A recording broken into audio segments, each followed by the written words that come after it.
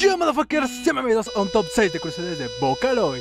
Esta vez vamos a hablar de un Vocaloid que una suscriptora me pidió durante mucho tiempo y que la verdad casi me lo pidió de rodillas, sin decirlo así literalmente. Pero bueno, vamos a dar el placer a esta suscriptora y hoy hablaremos de top 6 de curiosidades de Yuma. Comencemos.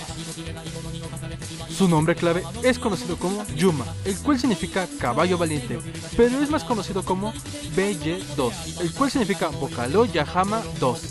El significado de 2 viene siendo que es el segundo Vocaloid de la serie BY y fue producida por B-Blacks, además de que fue lanzado el 25 de abril del 2011. Él fue confirmado poco después de BY1 y aparte de la misma serie BY, además de que comparten la misma intención de ser Vocaloid, sin discriminación de género establecido, además de la cara o la voz.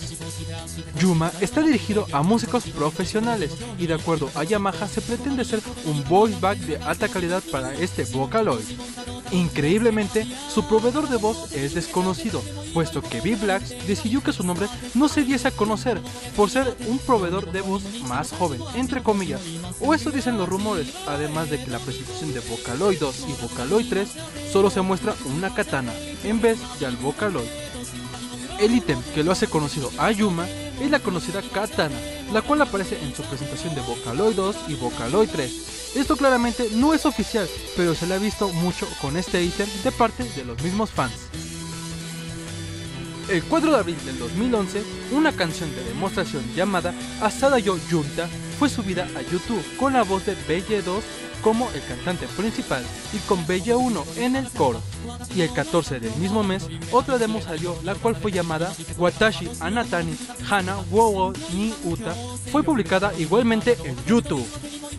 Y bueno chicos, con eso terminamos el top 6 de curiosidades de Yuma. Espero que les haya gustado y sobre todo a la suscriptora que me lo pidió, ya que como repito, ella me lo pidió de rodillas. Disculpen si está muy corto el video, pero realmente hay muy poca información sobre este Vocaloid. Pero bueno, ya saben, denle like, suscríbanse, síganos en redes sociales de Facebook, Twitter y As para saber más cosas suculentas del canal y muchas más otras cosas. Yo me despido, yo soy Heraldo Core y nos vemos hasta la próxima, motherfuckers. どうにもこうにも